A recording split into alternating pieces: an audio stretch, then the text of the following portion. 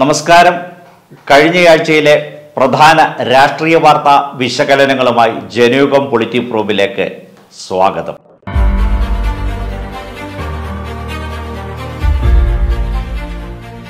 B J പിയുടെ വർഗീയ രാഷ്ട്രീയത്തിനെതിരായി ദേശീയ തലത്തിൽ രൂപപ്പെട്ട പ്രതിപക്ഷ കൂട്ടായ്മയായ ഇന്ത്യയിലേക്ക് കൂടുതൽ പാർട്ടികൾ എത്തുന്നു. എൻ ഡി എയിൽ നിന്നടക്കം ചില പാർട്ടികൾ പ്രതിപക്ഷ കൂട്ടായ്മയിലേക്ക് എത്തുമെന്നാണ് സൂചന. കൂടുതൽ പാർട്ടികൾ വിശാല പ്രതിപക്ഷ ഐക്യമായ ഇന്ത്യയുടെ ഭാഗമാകുമെന്ന് ബീഹാർ മുഖ്യമന്ത്രി നിതീഷ് കുമാർ അഭിപ്രായപ്പെട്ടു. ആഗസ്റ്റ് മുപ്പത്തൊന്ന് സെപ്റ്റംബർ ഒന്ന് തീയതികളിലായി മുംബൈയിലാണ് ഇന്ത്യയുടെ മൂന്നാമത് യോഗം ചേരുക. ഏകോപന സമിതിയുടെയും ഉപസമിതികളുടെയും രൂപീകരണം പൊതുമിനിമം പരിപാടിയുടെ കരണിന് രൂപം നൽകൽ കൂട്ടായ്മയ്ക്ക് പൊതു ലോഗോ സംയുക്ത പ്രചരണ പരിപാടികൾ എന്നിവയാണ് പ്രധാന അജണ്ട. ജൂൺ ഇരുപത്തിമൂന്നിന് പാട്നയിൽ ചേർന്ന ഇന്ത്യ കൂട്ടായ്മയുടെ ആദ്യ യോഗത്തിൽ പതിനാറ് രാഷ്ട്രീയ പാർട്ടികളുടെ പ്രതിനിധികൾ പങ്കെടുത്തു. ജൂലൈ പതിനേഴ് പതിനെട്ട് തീയതികളിൽ ബംഗളൂരിൽ ചേർന്ന രണ്ടാം യോഗത്തിൽ ഇരുപത്തിയാറ് പാർട്ടികളുടെ പ്രതിനിധികൾ പങ്കെടുത്തു. മുംബൈയിലെ യോഗം കോൺഗ്രസും ശിവസേന ഉദ്ധവ് വിഭാഗവും എൻ സി പി പവാർ വിഭാഗവും ചേർന്നാണ് സംഘടിപ്പിച്ചിരിക്കുന്നത്. മഹാരാഷ്ട്ര ശോത്കാരി ദൾ മുംബൈ യോഗത്തിൽ പങ്കെടുക്കും. എൻ ഡി എയിലെ അഞ്ചോളം പാർട്ടികൾ ഇന്ത്യ നേതാക്കന്മാരുമായി ബന്ധപ്പെട്ടിട്ടുണ്ടെന്ന് കോൺഗ്രസ് വക്താവ് അലോക് ശർമ്മ നാഗ്പൂരിൽ പറഞ്ഞു. ഇതിൽ ചില പാർട്ടികൾ വൈകാതെ പ്രതിപക്ഷ കൂട്ടായ്മയുടെ ഭാഗമാകും. ലോക്സഭാ തെരഞ്ഞെടുപ്പിന് മുന്നോടിയായി ചില പാർട്ടികൾ കൂടി എത്തുമെന്നും ശർമ്മ പറഞ്ഞു. ഇന്ത്യ കൂട്ടായ്മയുടെ യോഗം ചേർന്നതോടെ എൻ ഡി എ ഭീതിയിലാണെന്നും അടുത്ത ലോക്സഭാ തെരഞ്ഞെടുപ്പിൽ അവർ തോൽക്കുമെന്നും രാജസ്ഥാൻ മുഖ്യമന്ത്രി അശോക് ഗെഹ്ലോത്തും അഭിപ്രായപ്പെട്ടു.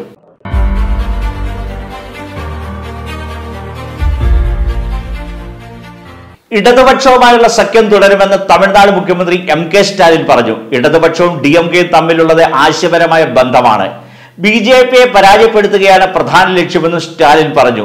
മാധ്യമങ്ങളോടായിരുന്നു സ്റ്റാലിന്റെ പ്രതികരണം. ഇടതുപക്ഷവുമായി യോജിച്ചു പോകുക എന്നതിന് പിന്നിൽ തെരഞ്ഞെടുപ്പ് മാത്രമല്ല ബി ജെ പിയെ ഒരുമിച്ച് നിന്ന് പരാജയപ്പെടുത്തുക എന്നതാണ് ഇതിന്റെ പ്രധാന ലക്ഷ്യമെന്നും അദ്ദേഹം പറഞ്ഞു.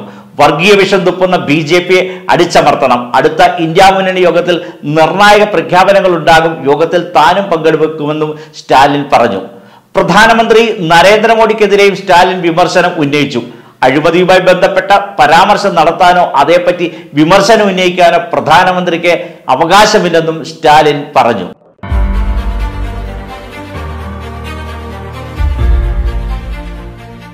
കേന്ദ്ര സർക്കാരിന്റെ സംസ്ഥാനത്തോടുള്ള തെറ്റായ നയങ്ങളും സാമ്പത്തിക അടിച്ചമർത്തലുകളും തുടരുമ്പോഴും എല്ലാ പരിമിതികൾക്കുള്ളിൽ നിന്നുകൊണ്ടാണെങ്കിലും ഓണം ഐശ്വര്യപൂർണമാക്കുവാൻ വേണ്ടതൊക്കെ സംസ്ഥാന സർക്കാർ ചെയ്തു. ക്ഷേമ പെൻഷനുകളുടെ വിതരണം മുതൽ ന്യായവിലയ്ക്കുള്ള പൊതുവിതരണം വരെ ഉറപ്പുവരുത്തി. പ്രതിസന്ധികളിൽ സർക്കാർ ഉയർത്തിയ മുദ്രാവാക്യമാണ് സർക്കാർ ഒപ്പമുണ്ട്. ഈ ഓണത്തിനും സർക്കാർ പാലിച്ചു. മഞ്ഞക്കാടുകാർക്കും ക്ഷേമ സ്ഥാപനങ്ങൾക്കുമുള്ള സംസ്ഥാന സർക്കാരിന്റെ ഓണക്കിറ്റിന്റെ വിതരണം നടത്തി. ഉത്രാട ദിനത്തിൽ മാത്രം രണ്ടര ലക്ഷത്തോളം കിറ്റുകൾ വിതരണം ചെയ്തു. റേഷൻ കടകൾ രാവിലെ എട്ട് മണി മുതൽ രാത്രി എട്ട് മണി വരെ പ്രവർത്തിച്ചു. മൊത്തം അഞ്ച് ലക്ഷത്തി എൺപത്തി ഏഴായിരത്തി അറുന്നൂറ്റി തൊണ്ണൂറ്റി ഒന്ന് മഞ്ഞ കാർഡുകൾക്കാണ് കിറ്റ് അനുവദിച്ചിരുന്നത്. ക്ഷേമസ്ഥാപനങ്ങളിലെ താമസക്കാർക്കായി ഇരുപതിനായിരം കിറ്റുകളും നൽകി. സമൂഹത്തിലെ എല്ലാ ജനവിഭാഗങ്ങൾക്കും ധനസഹായം എത്തിക്കുന്ന വിധത്തിലാണ് ഇക്കുറി ഓണക്കാലത്ത് സർക്കാർ ധനവിനിയോഗം നടത്തിയത്. ഓണത്തിനായി പതിനെണ്ണായിരം കോടി രൂപയാണ് സർക്കാർ ജനങ്ങളിലേക്ക് എത്തിച്ചത്. സർക്കാർ ജീവനക്കാർക്കും കണ്ടിജൻസി ഉൾപ്പെടെ എല്ലാവർക്കും ആനുകൂല്യവും എത്തിച്ചു. അറുപത് ലക്ഷം പേർക്ക് രണ്ടു മാസത്തെ ക്ഷേമ പെൻഷൻ ഒന്നിച്ചു നൽകി. കൈത്തറി കയർ മത്സ്യം ഖാദി ബീഡി ഈറ്റ പനമ്പ് തുടങ്ങിയ പരമ്പരാഗത മേഖലകളിലും ഓണം സമൃദ്ധമാക്കുവാൻ പണം എത്തിച്ചു. ലോട്ടറി തൊഴിലുറപ്പിനും അറുപത് കഴിഞ്ഞ പട്ടികവർഗക്കാർ തുടങ്ങി ഓണം ആനുകൂല്യം കൂടുതൽ മേഖലകളിലേക്കും വ്യാപിപ്പിച്ചു. സിക്കിൾ സെൽ അനീമിയ രോഗികൾക്കും ഈ വർഷം ആദ്യമായി ഓണക്കിറ്റ് നൽകി. ഓണക്കിറ്റ് വിതരണത്തിൽ ആശങ്ക വേണ്ടെന്ന് മന്ത്രി ജി ആർ അനിൽ പറഞ്ഞ വാഗ്ദാനങ്ങൾ പാലിച്ചിരിക്കുന്നു.